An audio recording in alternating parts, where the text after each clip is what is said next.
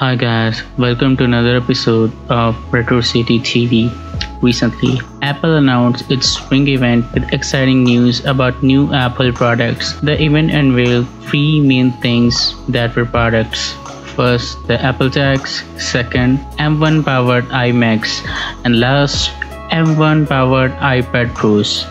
Apple tags are little coins which are dust and water resistant. They use Apple's proprietary Find My network, which consists of anyone who owns an iPhone, an iPad, or a Mac. Apple tags can be attached to your card keys, your notebook, or wallet, and they can guide you to its location thanks to its advanced U1 chip. AirTag offers over a year's worth of battery life with everyday use and features a removable cover that makes it easy for users to replace the battery. Last year, Apple showed off its new M1 chips in MacBook Air and MacBook Pro. This year, Apple used these chips in upcoming iMacs. No, word to the wise, these M1 chips are fast, like crazy fast. In fact, it's faster than Intel's fastest mobile processor in market today. The new Macs come with magnetic connector for charging and Ethernet port right in the power supply. The new iMacs are available in 7 different colors, all taken from the original Apple logo. Some Apple enthusiasts expected an overclocked version of new M1 chip as iMac chassis can dissipate more heat and connect to a wall socket for power. But it's the same chip as introduced last year.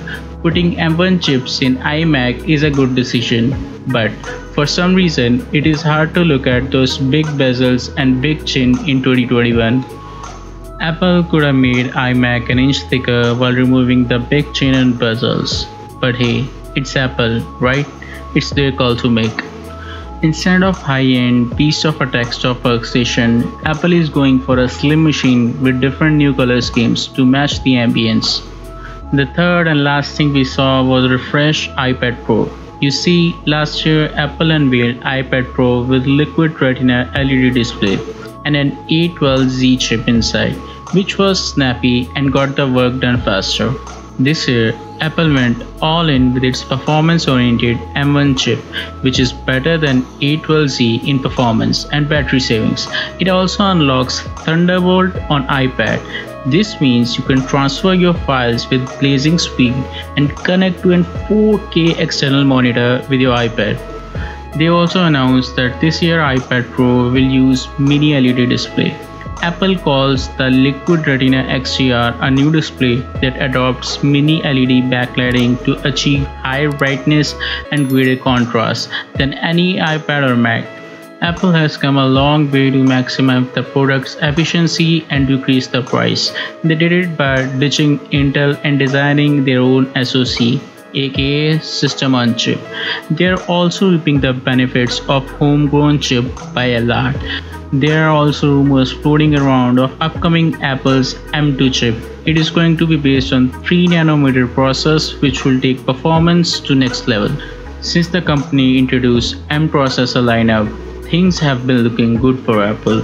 However, only time will tell how far and how long can they push these performance barriers since Google and Samsung are also developing their own custom chips in-house to compete with Apple. So, that's it for today guys. Let us know in the comments below if you think Apple's M2 is going to be as revolutionary as M1. We will love to know your input. Sub to our channel so you can bring new content to you.